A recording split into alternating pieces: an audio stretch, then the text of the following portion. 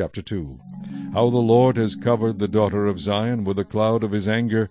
He cast down from heaven to the earth the beauty of Israel, and did not remember his footstool in the day of his anger. The Lord has swallowed up and has not pitied all the dwelling places of Jacob. He has thrown down in his wrath the strongholds of the daughter of Judah.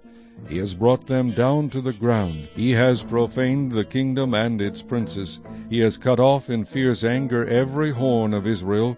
He has drawn back his right hand from before the enemy. He has blazed against Jacob like a flaming fire, devouring all around. Standing like an enemy, he has bent his bow, with his right hand like an adversary. He has slain all who were pleasing to his eye. On the tent of the daughter of Zion he has poured out his fury like fire. The Lord was like an enemy. He has swallowed up Israel. He has swallowed up all her palaces. He has destroyed her strongholds, and has increased mourning and lamentation in the daughter of Judah. He has done violence to his tabernacle as if it were a garden. He has destroyed his place of assembly.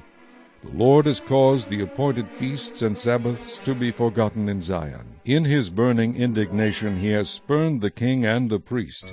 The Lord has spurned his altar. He has abandoned his sanctuary.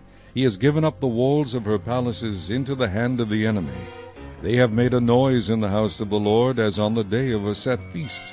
The Lord has purposed to destroy the wall of the daughter of Zion. He has stretched out a line. He has not withdrawn his hand from destroying. Therefore he has caused the rampart and wall to lament. They languish together.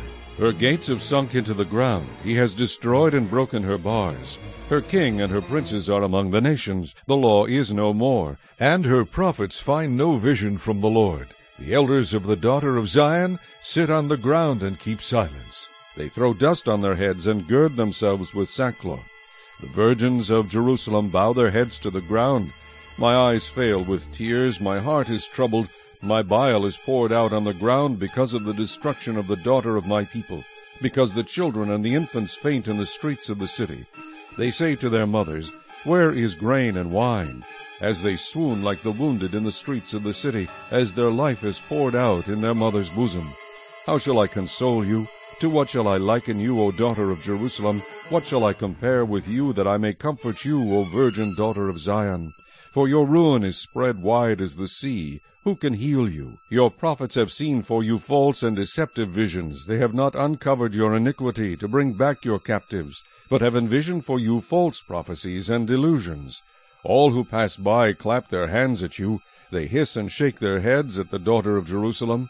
Is this the city that is called the perfection of beauty, the joy of the whole earth? All your enemies have opened their mouth against you. They hiss and gnash their teeth. They say, We have swallowed her up. Surely this is the day we have waited for. We have found it. We have seen it. The Lord has done what he purposed. He has fulfilled his word which he commanded in days of old. He has thrown down and has not pitied, and he has caused an enemy to rejoice over you. He has exalted the horn of your adversaries. Their heart cried out to the Lord, O wall of the daughter of Zion, let tears run down like a river day and night. Give yourself no relief, give your eyes no rest. Arise, cry out in the night, at the beginning of the watches. Pour out your heart like water before the face of the Lord. Lift your hands toward him for the life of your young children, who faint from hunger at the head of every street.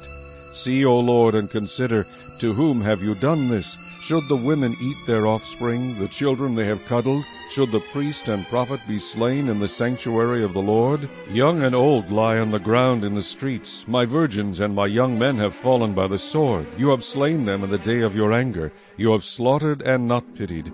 You have invited as to a feast day the terrors that surround me. In the day of the Lord's anger there was no refugee or survivor. Those whom I have borne and brought up my enemies have destroyed.